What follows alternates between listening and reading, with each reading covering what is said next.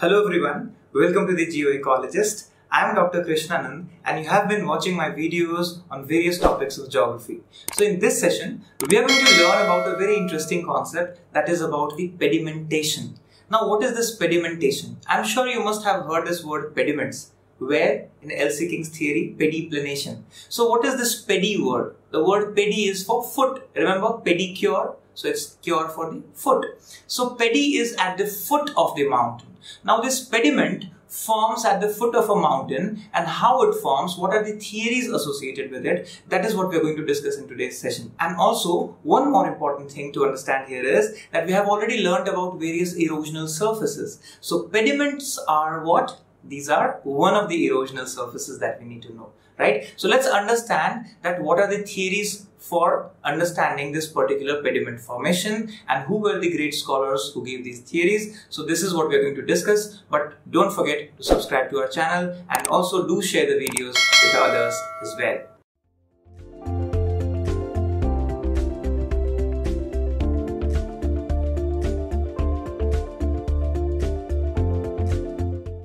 So now let's learn about the development of these pediments. Now here we have two images, one and two. Now you can observe where are the pediments? This particular surface at the foothills. So this is the foot of this particular hill or what you can say is the table land. So this particular land is called pediment. Now it's important to understand in this diagram as also here this is the frontal face of the mountain right and then this particular surface right? So this is the surface which is important to understand here as the kind of concave surface. So this is where you see pediment written. And furthermore what you have here is the particular bajadas that we say or the alluvium that is deposited right? So this is where you see this location of pediments. Now what are these pediments? You may see clearly here that earlier these mountains may have been till this particular point. Now after gradual you know erosion or what we say parallel retreat right? Or what we say is the slope that was declining gradually and slope that was replacing gradually what is left here is the particular erosional surface. Now this erosional surface is called pediments. So if you observe different particular points here or terminologies here that's important to remember.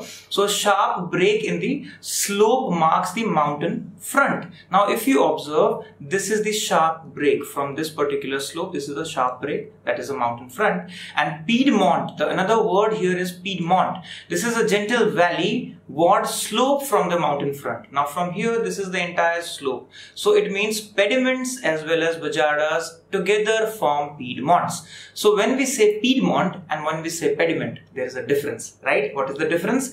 Pediment is the only first part of this erosional surface or like a platform at the just foothills but Piedmont is including these pediments as well as the depositional features here which are eroded from the same mountain which are big boulders and other material that is called bajadas. So if you go by formulation what you observe Piedmont is equal to pediments plus bajadas right? In a simple way you can understand this. So this is one diagram that you must practice in order to understand this in a clear way that this is the pediment this is the bajadas or the alluvium deposits where you have big boulders rocks debris material. And this together from this mountain front this particular location is called piedmont or many times it's also called piedmont plains right? Then we have finally which is pediment. So pediment is nothing but sloping erosional surface that cuts across bedrock. Many people get confused while discussing about these depositional features as well as erosional features. Now remember, pediments are erosional features. These are not depositional features. So when there is a slope which is further eroded, it is put back right? It retreats backward. So the surface that is there, erosional surface that is remaining at the foothill, that place, that particular is called pediment. So pediplanation was what? It was a planation of all these pediments joining together in L.C. King's theory. So I'm sure you must have uh, read about that or you, if you have not watched that theory, you can watch L.C. King's theory in the geomorphology playlist on this channel. And this is where pediments are important because they are a typical erosional surface remember which having thin veneer or what we say is coating of sediments on its surface right? And these sediments are coming from these particular slope only, mountain front only, right? And also they are important because pediment develops as mountain front retreats. Remember when this retreats, it means it goes back. Now level 1, level 2, level 3, level 4, level 5 and this is present level. It will again go here in some time. So earlier these were the levels that finally got eroded and now it is here. So what is remaining here? Because of the erosion of this particular mountain front gradually, this is what is pediment, right? So that's important that it is a pure erosional surface. Now, what are Inselbergs? Remember Penck's theory and also L.C. King's theory. So you find Inselbergs there. So er erosional remnants which is like this. This is called Inselberg, right? And also it was defined as Bornhardts. So Inselberg or Bornhardts are the remnants on these erosional surface which were hard rock surfaces that could not get eroded. So going by basic definition, pediment in geomorphology basically means what? It is a relatively flatter surface, right? So surface of bedrock exposed or veneered or veneered basically means coated with alluvial soil or gravel material, right? And that occurs at the base of a mountain, at a foot of a mountain. That's why pedi word, right? Pediment. As a plane having smoothly and what is given here? 0.5 degree to 7 degree of slope. So it's a very gentle slope, right? That's important. So pediment sometimes mistaken for groups of merged alluvial fans and bajadas as well. This is what I was trying to clarify that remember bajadas are not the pediments. They are the next portion of Piedmont plains. Bajadas are basically depositions of all those debris material, right? That is after the pediments right? That's important. So bajadas also slope gently from escarpment but are composed of material eroded from canyons. So remember, what is the difference then? The difference is the bedrock, which is part of the same rock structure, which is now eroded, is pediment. But the erosional materials that is deposited on the slope, that is what makes bajadas. So that is the basic difference. Now remember Bailey Willis in 1936 coined a term called Bornhardt to refer to residual hills. Now these residual hills are like Inselbergs was given by Penck. So this is what we also know by the name of Bornhardt, right? Which rises above these denuded topography thought to be the pediments or pediplanes that we say or sometimes also peneplains like Monadnocks and Davisian cycle.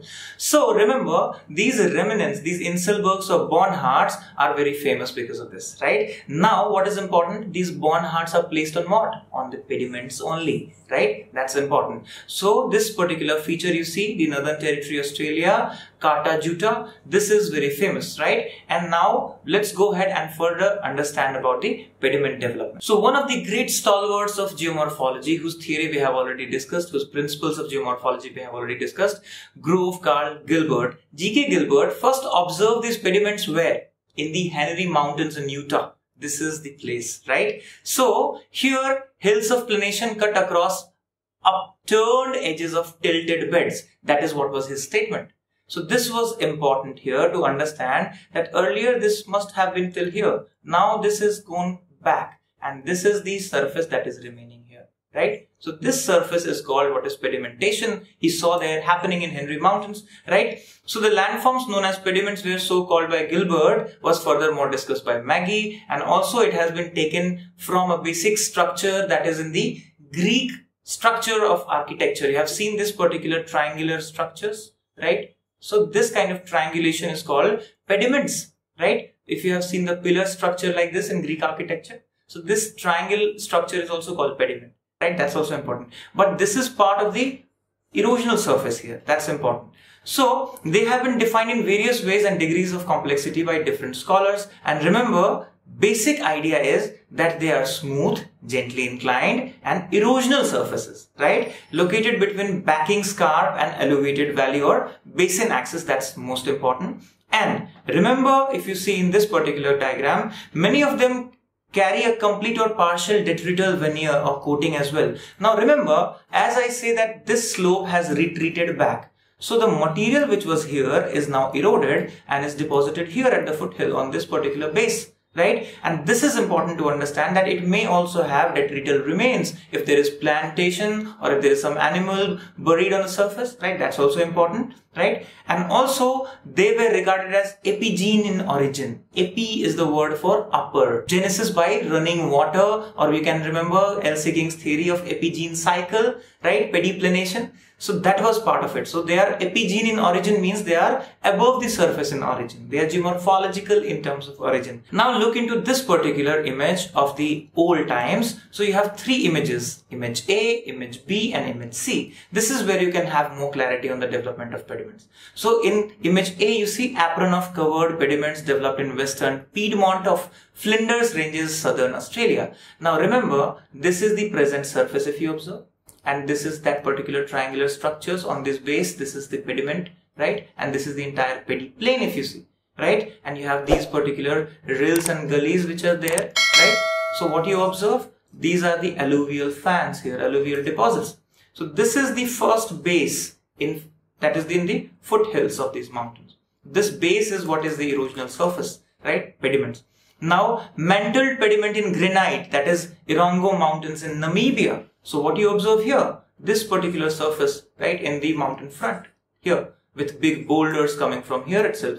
So this is what you observe as a pediment again, right? That's important. And then you have rock pediment. If you observe developed in western scarp foot of Humps, which is in Western Australia. Now this is this particular face and then you have this particular thing and then you have furthermore one degree downslope. So you see A, B, C and clear cut how the pediments look like, how these erosional surfaces look like, these surfaces, right? These are the surfaces. So that is how you can understand what a pediment looks like, pediplanation, right? So that's important. And now let's understand the top four theories. So what are the top four theories that explain the formation of these pediments? First one is Lawson's recession theory. The word is recession. It means something is coming back, receding back. Then you have sheet flood. It means something which is causing sheet erosion right? Flood itself reflects fluvial process, which was given by McGee. Then you have lateral erosion theory. Lateral means sideways erosion theory. Remember panplanation, Crickmay's work. Also that was important. So composite theory. Then it is composite means it is having more, more than one factors that are important. So now let's elaborate a little about these particular theories. So Lawson's recession theory. Now remember Andrew Cowper Lawson, this gentleman here, was a Scot-Canadian geologist, right? At University of California, Berkeley, and he made a Lawson's report in which he discussed about the formation of these pediments and where specifically San Andreas Fault 1895 he studied. That was where he worked, right? So according to Lawson, 1915 you see this year, that was important that these pediments are developed because of gradual recession of mountain foot caused by weathering and erosion. It means purely denudational processes epigene that is the word. So first it, the surface was here then it went here and gradually it eroded down to this place right? And that is what we say is the development of entire this pediment right? That is important. So due to back wasting remember parallel retreat and back wasting all these words we have discussed right from Penck to L.C. King so these were the important processes where he said aeolian and fluvial both the erosional processes led to gradual erosion and these mountains receded back so when mountains recede back, what happens? The base that is left is what is pediment, where you have pedimentation. So that's important. So as the mountain foot recedes, debris is deposited in the lower segment of the pediment and thus alluvial deposits is formed there. Alluvial fans are formed here, right? That's important. So that is the theory given by Lawson, right? That's important. Now come to the second one, sheet flood theory of McGee 1897. Now it is just before what we learned about Lawson's theory. So he said that it happens because of weathering and erosion in torrential rainfall areas in desert where you have sudden, you know, abrupt torrential rainfall. So, so much of water, so suddenly lots of surfaces eroded away and lots of material is transported in the formation of bajadas. So that is where this slope develops. The concave surface of pediments cannot be formed because of this lateral erosion. It forms mainly because of sheet floods. This was this gentleman McGee's theory in 1897, which was later obviously criticized because sheet floods may have secondary influence on pediments once they are formed, but they cannot initiate formation of pediments. That was the criticism that was important here. Now, coming to the lateral erosion theory, G.K. Gilbert attributed the formation of pediments to lateral corrosion by streams. That's important.